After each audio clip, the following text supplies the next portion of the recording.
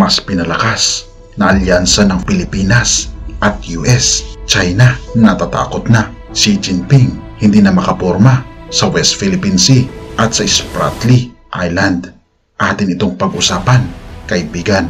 Ito ang good news kaibigan dahil ang United States ay handang tumulong sa Pilipinas upang mabawi ang ating isla, partikular ang Spratly Island dahil dumaan nga ang barkong pinakamalakas na gamit ng United States, isang aircraft carrier na pwedeng kumarga ng 70 fighter jets na kung saan kung ito ay gagamitin laban sa China ay siguradong wasak lahat ang mga malalakas na barkong pandigma ng China at dahil nga sa pagbisita ng napakalaki at napakalakas na barkong ito ay hindi magawang pumorma ng China sa Spratly Island.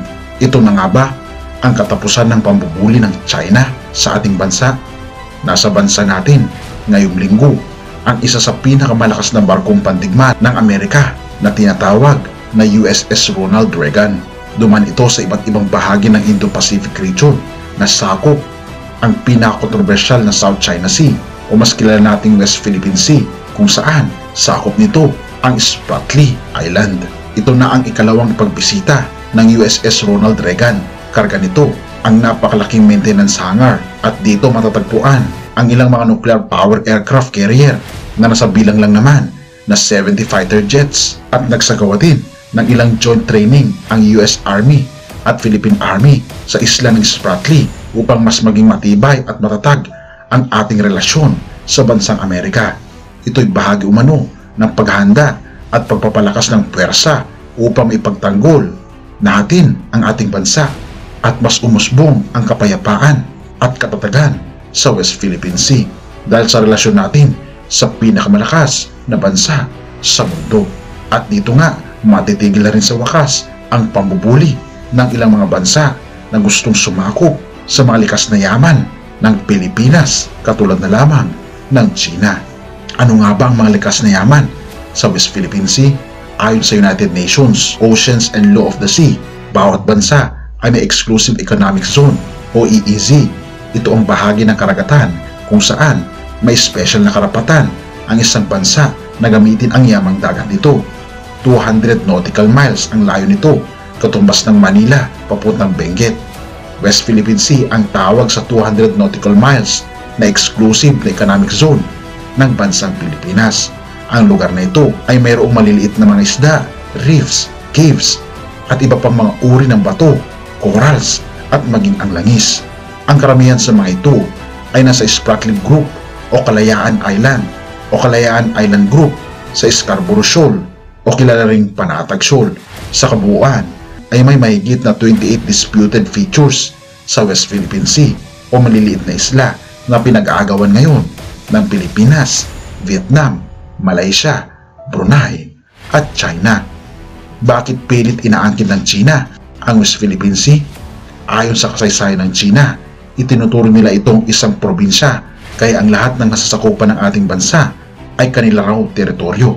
Ngunit wala silang patunay at walang makitang ebidensya na ito nga ay naganap sa kasaysayan sapagkat napakaganda ng lokasyon ng West Philippine Sea na kung saan mapapalawig, mapapatibay at mapapalakas ang pwersang pantubig sa mga nais manakop sa China. Ngunit kung ito ay makikita natin sa ating geographical map ay napakalayo ng China sa West Philippine Sea. Kaya nga naman, obvious na ang Pilipinas ang may karapatan sa West Philippine Sea.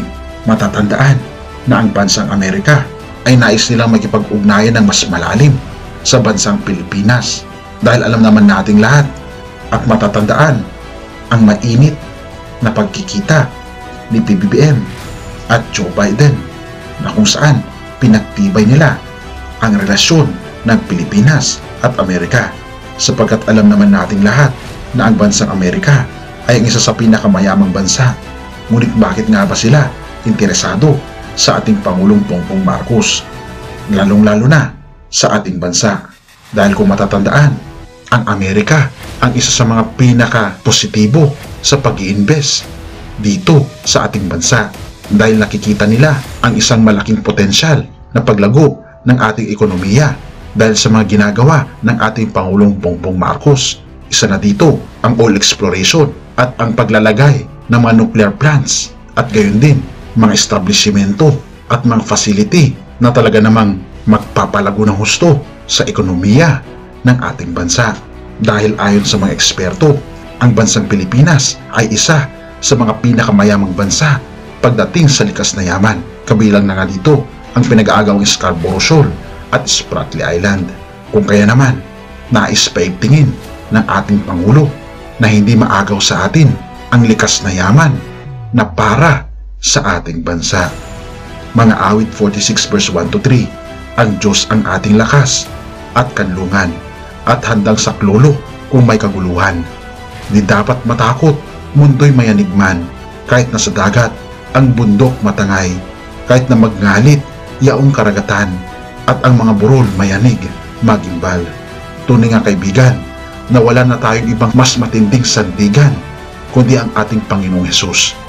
Na kahit gaano ban kalakas ang Amerika at gaano pa kalakas ang USS Ronald Reagan na napakalaking aircraft carrier ay hindi pa rin ito magawang may pagtanggol ng husto ang buong bansa. Ngunit kung tayo ay papasakop sa ating Panginoong Yesus, kahit ng ating kaluluwa ay maliligtas at pati ang kamatayan ay hindi magagawang buwagin ang layunin ng Diyos para sa atin.